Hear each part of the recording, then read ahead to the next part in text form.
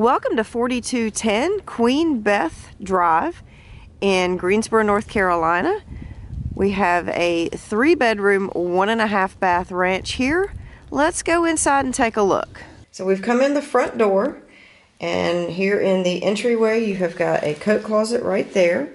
Straight ahead is the hallway and the den and then to the left we have the living room. It's a nice bright room. We've got Big window right here on the front of the house and right there on the side looking out into the carport.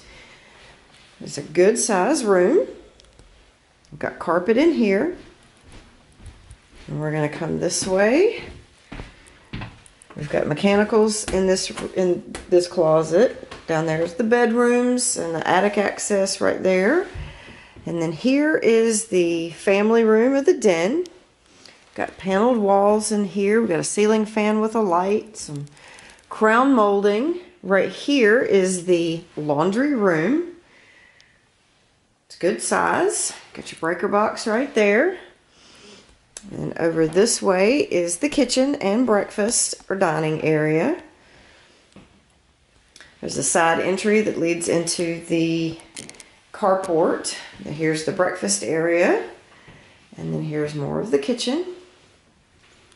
You got an electric cooktop in here, an oven, dishwasher, double bowl stainless steel sink that looks out into the backyard. We'll come back through the den.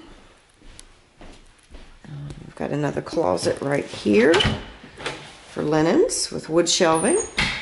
Again, there's the attic access. Right here to the left is the master bedroom. It's a good sized room. We've got a closet right there couple of windows. And then this um, bathroom has its own half bath. It's not a full master bath, but there is a half bath. Across the hall is bedroom number two. It's also a good sized room. Got a couple of windows, closet back there in the corner. Has an overhead light. Then here is the full bath for the home. We've got a single bowl vanity right here, and then we've got a fantastic good old cast iron tub with tile surround right there. And then finally we have bedroom number three. It's the smallest of the rooms, but it has a ceiling fan with a light, it's on the front of the house. And it's got a closet right there. We've come out the side door from the kitchen, and directly across from that side door is the door to the storage area right here. We're inside the carport. There's extra parking pad on just on the other side of the carport. And now we're going to take a look out to the backyard. The backyard which is completely fenced. It is a good sized backyard. Nice and big. It's relatively flat which is great for recreation. As you can see fenced all the way around. We've got this little patio area right over here.